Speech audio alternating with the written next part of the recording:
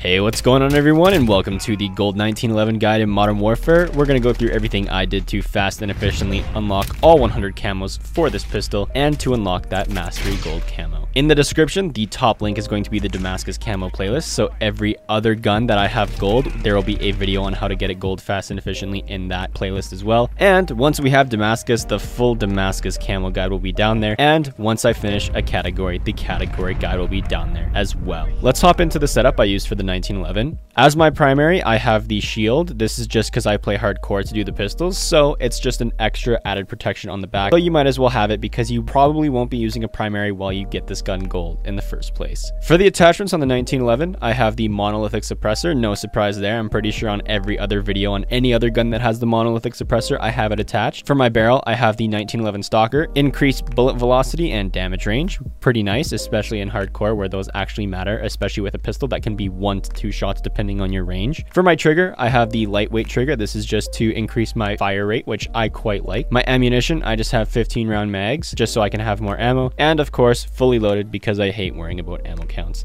Keep in mind, you can use whatever attachments I want. This is just for the people that want to know what I use. For my perks, I have double time just to increase that tactical sprint and increase the duration of how far. In perk 2, I have ghost just to stay off the radar. Even though I normally play hardcore for the pistols, ghost really helps me because when that enemy UAV does go up, then it is actually a lot easier to sneak around and they don't notice you as well, which equals more kills and better positioning. For perk 3, I have tracker. This really helps me playing hardcore headquarters just because if the enemies are running around by the headquarters but they're not on it, I can just see where their footprints are going, track them down, and get an easy kill or two.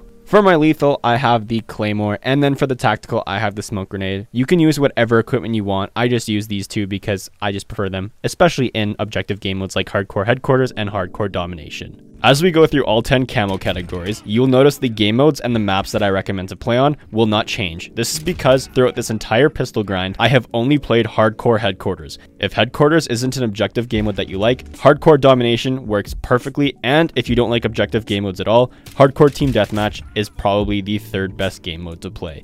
I like playing hardcore headquarters because spawns are easy to predict and everyone is pushing the headquarters so you will face lots of action and if you are on top of your game you will be dropping lots of kills each game which in turn helps you complete your camo challenges faster. And if hardcore is not your thing you can easily just switch hardcore to core. However, I highly recommend hardcore because pistols are one to two bullet shots at every single range, unless you're at like absolutely extreme range, which then it will be three, but that is pretty rare, especially on the hardcore domination and headquarters maps that are in rotation. As we go through them one by one, on screen you will see each requirement needed to complete the camo category, as well as in the description, all 10 will be listed. So at this point, if you've watched all the setup and gotten all like the basic tips, you can just read the description and then go grind the camos. And if you guys want to stick around, we're going to go through in depth through each category, starting with spray paint, which is 250 kills. You will complete this challenge naturally as you progress through every other category, so honestly, don't pay too much attention to spray paint. To complete Woodland, this is just 50 headshots. This is where hardcore game modes are extremely going to help you because you just one tap someone on the head, easy headshot kill. Make sure you're just aiming for the head, especially if enemies are unsuspecting you or don't even notice you at all, especially if they're camping in a corner or holding an angle that they don't know you're there watching them. You can just aim on their head while they're not moving and get an easy kill. It's even easier if the player is AFK.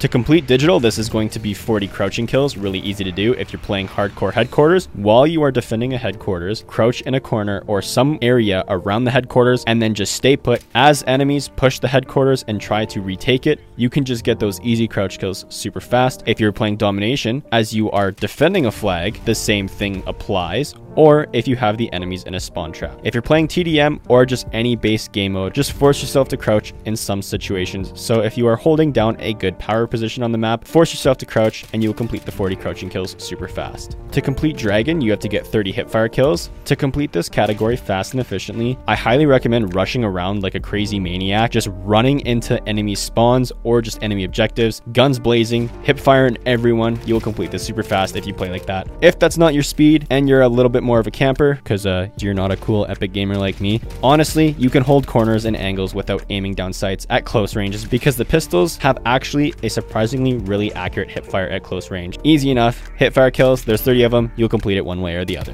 To complete Splinter, this is 30 long shots, really easy to do. A long shot for pistols like 30 feet, so if an enemy is 30 feet away, you'll get that long shot super, super easily. I find you'll complete this naturally as you go through every other category as well, so don't put too much time and effort into long shots. However, if it's one of the last challenges you are yet to complete, put a little bit more focus into it, and then just knock out the rest of the long shots that you need. Topo is 25 double kills, really easy to do, especially in headquarters game modes, because enemies usually travel in packs or as a whole team. Just pick off two guys, get that double kill, 25 of them, really easy to do. I think the most I've gotten in a single game was 12 double kills on hardcore headquarters on shoot house. So it's a really easy challenge to complete, especially on those smaller maps.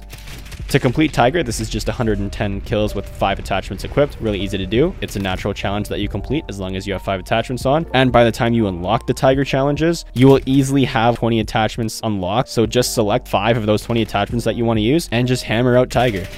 To complete Stripes, this is 25 kills shortly after reloading. Once you reload, you have 3 to 5 seconds to get a kill. Really easy to do in hardcore game modes because the second you reload, all you need to do is connect 1 to 2 bullets with an enemy and you get that kill. Do this 25 times and you're done Stripes. To complete Reptile, this is 75 kills with no attachments. The exact same thing as the kills with attachments, just take all your attachments off. 75 kills, easy enough to do, and you complete it. The last category is Skulls, and this is just 25 times. You have to get 3 kills without dying. Super easy. It stacks on top of each other, so if you get 6 kills, it counts as 2. 9 kills, 3. You can do the quick math and go all the way to 25 if you want to, but I'm pretty sure that's statistically impossible, especially in Call of Duty, unless you're like boosting or like hacking or something. But yeah, really easy challenge to do. And once you've completed all 10 categories, you will have unlocked the gold camo for the 1911 pistol. Once again, in the description, the Damascus camo playlist is there if you would like help with any other guns, as well as when I complete Damascus. Once again, that full Damascus guide will be there. I want to thank everyone to coming out to this 1911 tutorial guide. As always, if there is one, I'll see it in the next one. Peace.